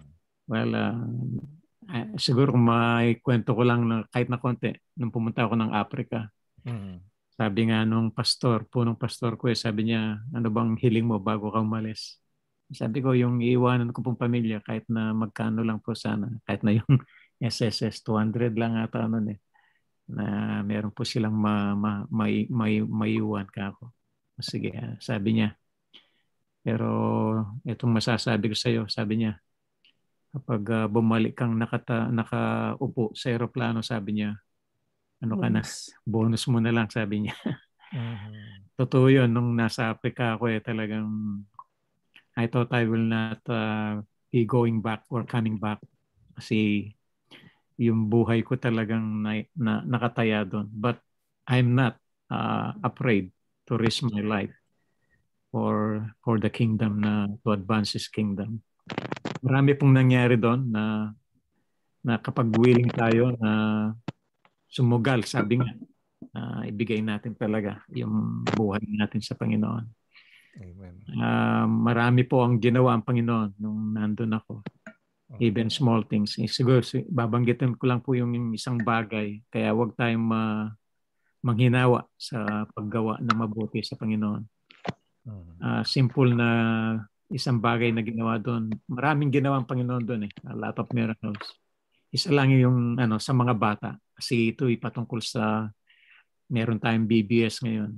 Mm. Yung mga bata doon, talagang de, this, this country is the poorest among the poor. Mm. Pag naglalaro yung mga bata, kasi yung paborito nila doon, soccer eh, yung bola. Uh, nakita ko yung mga batang yun, ang bola nila ay eh, yung pinagtagpi-tagping bu- uh, buhol-buhol na ano na plastic. Mm. Yun ang kanilang uh, sinisipa-sipa. Hmm. Nung nakita ko sila, binili ko lang, sabi ko, bili kayo ng ano, bola sa palengke. And the last time that I heard, yung, yung bolang yon lumaki yung ministry sa mga bata. Hmm. And I believe na kumilos ang Panginoon through that simple uh, ano gesture na bola lang, no? Pero marami lumaki yung ministry na yon sa mga bata. Amen. So yun po. Uh, uh, kahit na maliit yung ginagawa natin o malaki man, huwag mm. tayong manghinawa. Sabi nga yung binasa ni Pastor kanina sa Galatians chapter 6. Mm. In due time, sabi niya, uh, we will reap if we will not uh, faint, sabi nga. Mm. At saka yung nag-encourage si Pablo, no? yung taong kailangan ng encouragement. Hmm. Di ba? Kasi na-shipwreck siya, natuka ng ahas, nagulpe. I mean, ang dami niya pinagdaan, nakulong. Siya pa yung nag-encourage na wag kayong tumigil. Ano lang, dire-diretso lang. In due time, lahat tayo hmm. mag-reap na magandang blessing. Di ba? Actually, nahuli ako dun sa Africa eh. Hindi na talaga makakauwi. Kaya lang, yung dalawang interpreter ko noon, nagipag-negotiate sila. Mm-hmm. Uh, I violated their law meron akong na, na nagawang mali sa kanilang batas. Mm-hmm. Pero, pero yun, God is still a purpose. Kaya kasama ko kayo. Patuloy tayo. Amen. Amen. Sige po, Amen. tayong lahat. Tayo. Kung meron pang uh, gusto magdagdag bago tayo manalangin, okay na tayo. Meron pa? Going once, going twice. Magbi-business din po ako ah. Sige pa, sige po. Ano pa? Magbi-business din po ako. Ah, ako may business. Lahat na tayo. Lahat tayo mag-business ng ah, kaluluwa. Uh, yeah. Lahat tayo, tataya lahat tayo. dito. Negosyante tayo lahat dito. Negosyante tayo, mag-business yeah. tayo para mag-profit din tayo. Kaya pag sa linggo, ang tawagin natin, Panyero, kamusta? kamusta ang kumpanya mo? yeah, so lahat tayo negosyante dito. Sige po. Uh, ano, si si Kiko, tawagin nyo. Kiko, meron kasi share? Kiko? Go ahead, Kiko. Sige. Yan lang po. Ano, nangarap lang magnegosyo. Yun, mangarap ng malaki. Ano, Kiko, magninegosyo na tayo ha? Mag, uh, mag-share tayo ng gospel sa maraming kabataan. Ah, magte-testify ka ha? Kaya tutulong kids. Oo, kaya tutulong ka sa kids ministry sa July 31. Ano? Okay ba? Go ka ba doon? Ayos. Yan ang gusto kay Kiko eh. Go, go, go eh. Alright. Sige, manalangin tayo. Uh, Dakilang Ama sa Langit, salamat po sa napakagandang gabi, sa limang gabi na magkakasama kami. Kami, ang mga puso namin ay pinagpala, Panginoon, na makita ang isa't isa sa limang sunod-sunod na gabi. Ito pong prayer and fasting namin ay matatapos ngayong araw, pero po ang puso namin ay hindi matatapos na maglong sa inyo, Panginoon. Yung lagi kayong hanap-hanapin. Dalangin namin, Panginoon, na patawarin niyo kami sa mga pagkakasala namin, uh, mga nasabi, nagawa, naisip. Uh, humingi po kami ng kapatawaran, Panginoon. Dalangin namin, Panginoon, uh, yung mga biktima, Panginoon, ng uh, uh, Surfside dun sa may Florida, Panginoon na bumagsak dun sa condominium. Kung meron pa pong buhay, Panginoon, ay tulungan niyo po sila na magkasurvive. Dalangin namin na kapayapaan sa puso ng mga nawala na kamag-anak masakit po sa puso na mapanood yung mga ganitong bagay, mga ganitong trahedya, Panginoon. Pero sa lahat ng trahedya, Panginoon, ay pwedeng kakitaan ng isang magandang magandang pagkakataon, oportunidad para makilala ka, Panginoon. Dalangin namin na magamit itong trahedya na to para po makilala ka at mayangat ang pangalan mo. Hindi po ito galing sa inyo kahit minsan hindi niyo ninais na saktan ng kahit sino man. Pero Panginoon, sa sa mga ganitong pagkakataon, pwedeng pwede po namin na i-claim na kayo po ay uh, pwedeng uh, iangat ang inyong pangalan. Panginoon, salamat sa hamon niyo sa amin na kami po ay magnegosyo para sa inyo, uh, tumaya para sa inyo, at uh, mag-evangelize to make disciples of all nations. Panginoon, uh, we can't wait na pagkwentuhan ng mga susunod namin mga mga mga camp, mga retreats, mga uh, mga mission trips na kung saan ay tataas namin ang pangalan nyo at maraming tao makakilala para sa inyo. Mga medical missions, mga nagagawin ng aming simbahan at lalong-lalo na yung mga yung mga mga ministry namin na kayo po ang magpapalago. Dalangin namin na maging obedient po ang aming mga puso at uh, kayo po palagi ang uh, siyang uh, uh, gumabay sa amin, Panginoon. Panginoon, dalangin namin uh, unang-una, Panginoon, ang nanay ni Brother Conrad, Panginoon, na uh, patuloy po na sa ospital. Kayo po, Panginoon, ang uh, magbigay ng comfort sa kanilang uh, kanilang buong sambahanan, Panginoon. Dalangin namin, Panginoon, ang safe delivery uh, sa kapatid ni Sister Belinda, Panginoon, uh, sister-in-law niya na si Michelle, na mag, manganak sa July 15. Uh, kayo po, Panginoon, ang mag-protect, Panginoon, uh, uh, kayo po Panginoon ang uh, mag-provide para sa kanila. Protection din po and good health para kay Pastora Tin sa kanyang baby, Panginoon na maging malusog at uh, maayos sa ang panganak niya sa nalalapit na panahon. Dalangin namin na ang pastoral staff, sina, uh, sina Cled, sina Rachel, Panginoon, na bagong uh, na, uh, nag-join sa leadership, Panginoon, that they will continue to gain more wisdom and knowledge in serving you. Uh, dalangin din namin si Faith, Panginoon, ang kanyang mga travel plans papunta dito sa US, na kayo ay patuloy na kayo po ang magbigay ng uh, kalakasan at uh, at uh, proteksyon para kay Faith Panginoon sa pagpunta niya dito. Ganun din po Panginoon ang comfort and peace para kay Ryan, uh, co-worker ni Brother Conrad na namatay ang kanyang ama, Panginoon uh, uh, dalangin namin na i-comfort niyo po ang kanilang buong pamilya. Uh, ganun din po kanyang nanay na nasa ICU pa rin hanggang ngayon. Dalangin namin, Panginoon, uh, yung anak ni Sister Cherry na nasa Massachusetts na nag-join ng Army. Kayo po mag-comfort sa kanya ngayon. Ganun din kay Sister Cherry, Panginoon. Dalangin namin yung parating na kapatid ni Sister Rachel na papunta dito sa Amerika na kayo rin po magbigay ng uh, mga opportunities at safe travel sa kanila at maayos lahat ng kanilang papeles, Panginoon. Dalangin namin ng BBS na maging successful ang basketball ministry at lalong-lalo na Panginoon bukas yung women's ministry, yung Busilak na uh, kanilang day out sa beach Panginoon kung saan nila pag-uusapan ang pagiging uh, babae, uh, babae para sa Diyos Panginoon. Uh, dalangin din namin yung mga anak ni Brother James na patuloy niyo po na tulungan sa kanilang pag-aaral sa sa uh, sa sa Philippines Panginoon. Uh, nagpapasalamat po kami na nakita namin sila at sinagot mo ang aming mga dalangin. Uh, ito po ang aming uh, samot-saring dalangin, Panginoon, sa pagwawakas ng aming uh, uh, mid-year prayer and fasting. Uh, sa gabi ng devotion at sana ay maging uh, attitude namin at maging uh, kaugalian namin at uh, uh, ang makaniig ka sa araw-araw, Panginoon, at uh, i-acknowledge ang iyong presensya sa aming buhay. Maraming salamat po. Ito po ay ang aming samot-sari dalangin sa ngalan po ng Panginoong Yesus. Amen at amen. Ayan. So, tayo ay mag-class picture na. Okay. One. Ayan. Uh, Pastor Bong. Ayan. Si... Okay. Glad. Ayan. Okay. Masama pakiramdam ni Claude. Eh. Okay. One two. Dumidedi pa si Jaire. One, two, three, smile.